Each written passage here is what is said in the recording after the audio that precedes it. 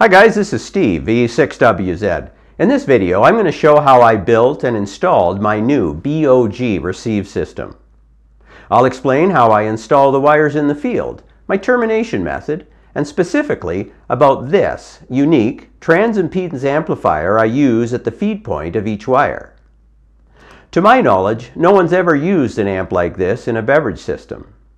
These amps not only lift the gain, but they also stabilize the antenna impedance and phase for use in my phased arrays. And in fact, I'm going to talk about my broadside pairs and a BSEF, a broadside end-fire four-element uh, array of these same elements. I've been using this RX system of 12 wires in the field now for two winter seasons, and they've honestly exceeded my expectations. Look, over the past 30 years, I've had a lot of different receive antennas.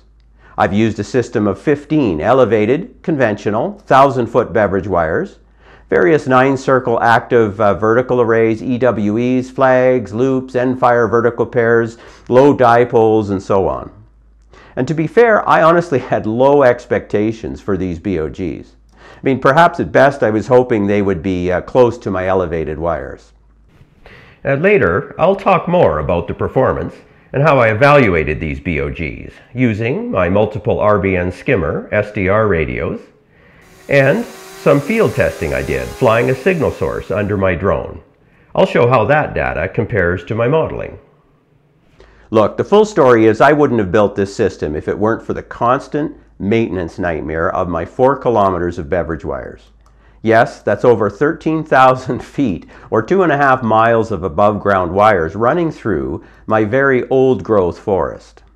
Uh, these old, tired trees were constantly falling down after every windstorm, and I was out with my chainsaw cutting the trees down. It literally became unmanageable. So it seemed to me that putting the wires on or near the ground uh, would be a solution. Based on the positive results from this new BOG system, all of my above ground wires are now removed. Here's a pile of about two miles of fence wire. Let's get started. Obviously, every location is going to be different, and what I've done here may not work for you, but perhaps you can get some ideas if you want to give it a try. A BOG is usually, well, on the ground. That's why they call it a BOG. However, a paper written by Rudy Severns, N6LF, published in both QST and QEX in 2016, uh, motivated me to install my wires slightly above the ground. Rudy's paper explains how the performance of a bog can deteriorate over time as the wire sinks into the ground and gets covered by overgrowth. It seems that the closer proximity to the ground will drastically alter the current taper along the wire and cause it to self-terminate rapidly. I'll include a link to the paper in the description below this video. My wires are 3 to 400 feet long and elevated about 4 to 6 inches above the ground by stapling an insulated 14 gauge wire to logs laid end to end on the forest floor. This is easy for me to do since this old growth forest is littered with dead trees. Yeah, like lots of deadfall. So, my beverages are really a BOL, a beverage on a log. Look, sure, it's not pretty. I mean, it's not perfectly symmetric and straight as the wires undulate and twist through the forest floor. The logs are not perfect insulators and will deteriorate with time. But guys, we aren't building a violin. We aren't sending a manned mission to Mars. We aren't building a 5 gigahertz system here.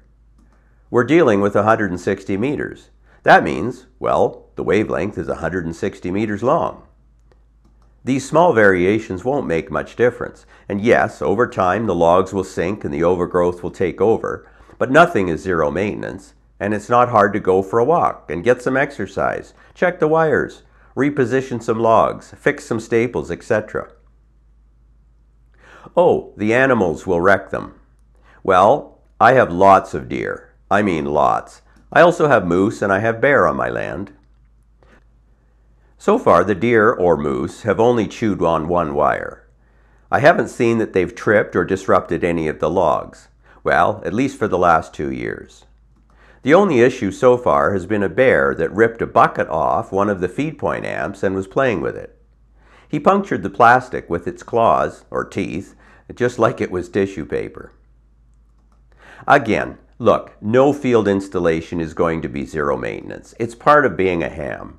We're always fixing stuff. Go for a walk, get some exercise, check the wires. You'll live longer. You'll work more DX. I use number 14 gauge house wire. Most building supply houses sell it affordably in 1,000 foot spools. DX Engineering sells this stranded wire that is good too, but I think the deer might break it quicker if they chew on it. Solid might be more robust. I'm not sure. I put the wire in a spool holder, and after laying out the logs, I just run it out and use a staple gun with half-inch staples to hold the wire in place.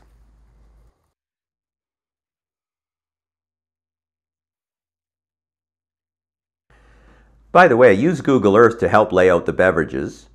I use my compass in my iPhone for uh, finding the direction.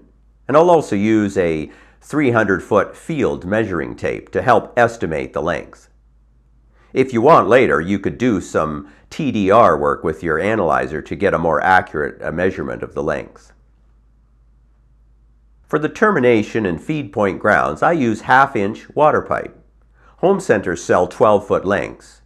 For the termination, I cut four three footers, and for the feed point, I cut three four footers. I use a MAPP torch to solder the connecting wire to the pipe. I buy one of these uh, self-starting types from the home building centers. You know, don't even bother using a regular propane torch. I find these MAPP torches make real quick work of the solder, uh, even outside. The wire is terminated with a 320 ohm resistor. I just use a small 1 watt carbon comp type. I used to fuss about using ceramic devices to withstand lightning, but now I just solder a gas discharge tube across the resistor and solder it directly between the wire and the ground rod. A bit of black tape and I hide it under a log. Usually, that is most guys, will feed their BOGs just like an above ground beverage, with a passive matching transformer. The transformer's built to match the 300 ohm surge impedance of the wire to the 75 or 50 ohm coax. This would be three turns on a, the 75 ohm side and six turns on the 300 ohm side using a binocular core as shown here. However, a BOG output can be rather low and often requires some preamplification. This can be done on the low impedance side in the shack just before the radio. However, my system uses a unique transimpedance amplifier at the feed point. This is a modification of a design by John W1FV that uses a high-performance surface mount device op-amp. It's designed for very low noise and high dynamic range and is optimized for 160 and 80 meters. In another video, I'm going to describe the amplifier in more detail, provide some construction detail, as well as a link to order some PCBs if you want to make your own. Again, the link to that video will be in the description below. The benefit of using these amps is to stabilize the amplitude, phase, and impedance. In any phased array using coax as delay lines, it's crucial that the feed lines have a low SWR. You see, if the feed point is mismatched to the coax line, then the phase delays can be way off. The output of these amps at the coax connector will always be exactly 75 ohms, no matter what's happening on the wire. The trade-off using these amps is the vulnerability that all active electronics suffer outside, especially from lightning. My design uses gas discharge tubes and a disable relay shorting the input when not in use, but they're not indestructible. Certainly a passive feed point using a transformer will be more robust, but I think these amplifiers are a game changer for perking up the output, especially in a phased array. At the feed point, I drive in a 4-foot copper pipe and leave 10 inches or so above ground that I can zip tie the amp to. These amps are looking for a very high source impedance, so a long ground rod or good ground soil is not required. You could also use a separate stake to mount the amp on. I buy these cheap plastic buckets from the building store and cover the feed point. I paint them camo color. You'll notice the amps have a separate 12 volt supply. I've done this to avoid putting DC on the coax with a bias T because I've discovered this can sometimes lead to noise problems. I use Cat5 for the supply voltage to the field. Make sure you get direct burial Cat5 as well as direct burial coax. Also, cover your coax and cat wires under logs or bury them. Trenching can be a lot of work and often difficult when there's roots. Deer will eat coax and Cat5 wire. Covering them with logs works very well. By the way, keep those F connectors clean and tighten them with a wrench. Flood your connectors with silicone grease to prevent moisture ingress. Together with my 9-circle array and other receive antennas, I have over 50 RG6 connectors in the field. Usually, if I'm seeing a noise or other RX antenna problem, the most likely culprit is a loose or faulty F connector. Okay, so how do these short 300 foot wires stapled to logs actually perform? Well, first of all, have you heard the expression, hearing or working DX is never proof of a good antenna? Yeah, well, that's actually a true statement. However, this is my second winter DX season using these BOGs. I found switching between the full-sized above-ground wires and the BOGs usually showed very little difference in copy, both on 160 meters and medium wave. A somewhat less subjective analysis is using the RBN system. Perhaps some of you are aware of my RBN skimmer spots.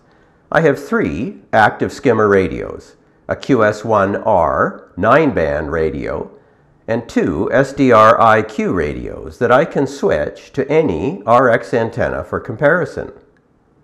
These show up on the RBN network as VE6WZ, VE6WZ1, uh, and VE6WZ2. The SNRs were usually within a dB or so when comparing the full-sized beverages and the BOGs. Perhaps the least subjective evaluation is to take some field measurements and compare them to modeling. I built a small clock oscillator source that I can fly under my drone. This one is a dual transmitter for 160 meters and 1.2 megahertz, the medium wave broadcast band. I made another video about these little transmitters if you want to build your own. I'll put a link in the description below for that. I fly the drone out to one kilometer at an elevation that will be close to a 15 degree wave angle and take measurements. I fly to eight compass directions and switch through all of the antennas at each stop. I have the ability to select single wires or any phased pair. So all altogether there are 13 measurements taken at each drone stop. In Excel, I tabulate and normalize the data to a common azimuth and then plot each wire or pair on a polar plot together with the modeled azimuth pattern for that same antenna, which I also ran at a 15 degree wave angle. Although I plot each individual wire or phased pair, I've also averaged all of the wires uh, into one polar plot, which seems to smooth out some of the anomalies. Anyway, here is a single wire on 160 meters with the drone data plotted with the red dots and line. Notice the pronounced side rejection. I see this on all of the wires. It seems that modeling doesn't properly account for this with the wires so close to the ground. Here's a broadside pair spaced at 400 feet. Sure, I only have eight data points with this drone data, but it agrees pretty closely to the model. Perhaps next year I'll do more drone stops and fill in the gaps. Either way, the modeled RDF for this array is almost 13 dB, which is pretty decent for only 300 foot long elements. Now, here is my BSEF 4 element array, and clearly this needs work. It seems the end-fire pairs are not performing as expected to provide that strong front to back. In fact, this is a plot of just the individual end-fire pairs. Obviously, the front to back is not developed. My end fire pairs are staggered at 70 feet and properly phased using the crossfire feed method, but I suspect there is either a phase or amplitude imbalance between the wires that upsets the nulling. Perhaps these wires close to the ground are subject to too much variability to be suitable for end fire phasing. I ran out of season this year to do more experiments. But hey, this is exactly why field measurements are important. Here are the same results for medium wave. With only 400 foot broadside spacing, these uh, pairs don't achieve the same RDF as they would with wider spacing. However, for 300 foot long wires, they're still pretty effective antennas. BOGs are not a new thing. They've been in use for decades, so there isn't a lot new here. However, I wouldn't have made this video if the performance for these guys didn't surprise me. The broadside pairs can hear just as well as my old 1000 foot elevated pairs. Maybe you got some ideas from my experimenting, and you might want to try a similar setup. These stealthy wires lying close to or on the ground can be deployed in a lot of situations where above ground wires just aren't possible. Perhaps you already have a BOG installation and you might want to try building some of these transimpedance amps to lift the gain a bit and perk up the output. Check out my part 2 video with some construction details about these amps. 73, this is Steve. VE6WZ.